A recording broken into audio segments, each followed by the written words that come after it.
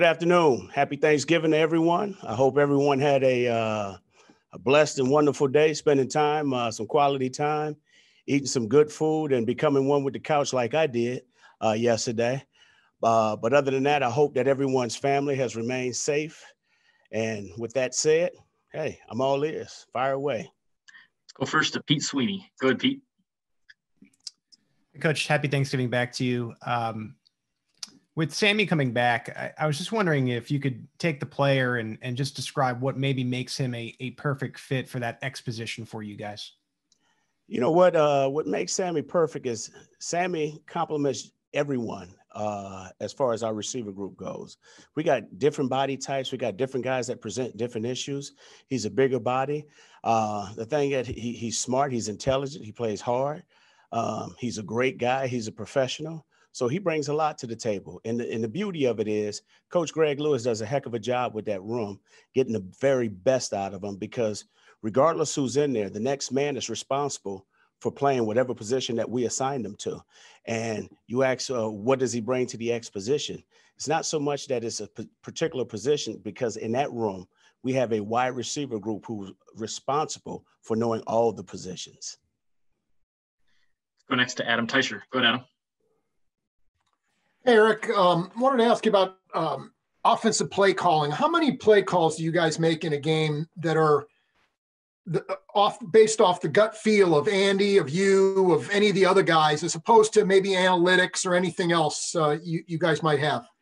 Well, I think more than anything, uh, our play calling is basically a collaboration on what we studied for the particular week all right. On top of that, yes, we'll utilize our analytics. Mike Frazier does a heck of a job of updating us on things that that are strengths and things that are weaknesses uh, that are being presented to us. Uh, but on top of that, making sure that we're on top of it uh, by collectively putting our guys in the right positions so they can go out and play. So is it a gut feel? Yes. On top of that, it's study, okay? And studying and preparing and making sure that collectively we're all on the same page as we come out of that meeting room making sure we got the best guys in the right situations to go out and be productive to create the matchups that we want. Let's go next to herbie teope. Go ahead herbie. Hey, Coach, uh, I want to ask you about your fellow Louisiana guy down there in Tampa Bay, uh, Devin White. Uh, when you pop on that film and, and, you see the things that he's able to do at the linebacker position, what makes him so dangerous? Devin White is a football player. He can run, he can tackle, he can cover. He does all the things that you ask him to do. And on top of that, you can see and feel the passion that he brings to that team. Those guys do a hell of a job.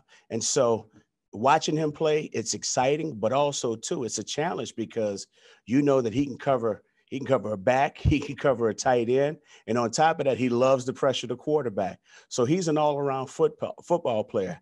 You know, our guys have turned on the tape. I told them, hey, before you even take a look at what's taking place in the back end, let's make sure we're focusing on this front seven because collectively, all right, this front seven is probably the most challenging one that we're going to face to date.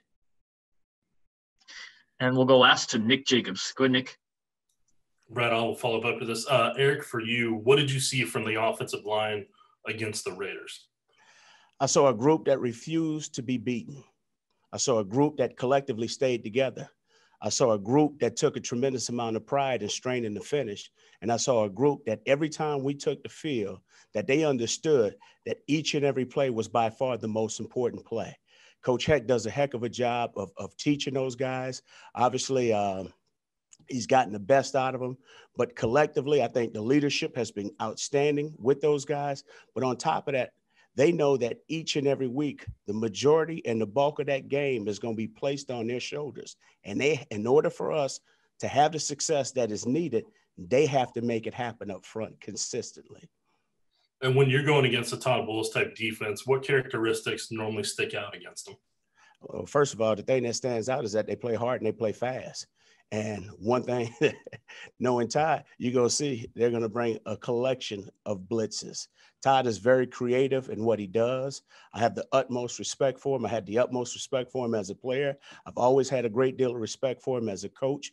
And he presents some issues. So it, it requires a lot of attention to be paid to, meaning our guys got to make sure that they're over communicating clarity. They also understand what they're looking at. And on top of that, collectively as a coaching staff, we got to make sure that we're presenting and giving them the what's and the whys and the hows on how we're going to handle certain issues that present.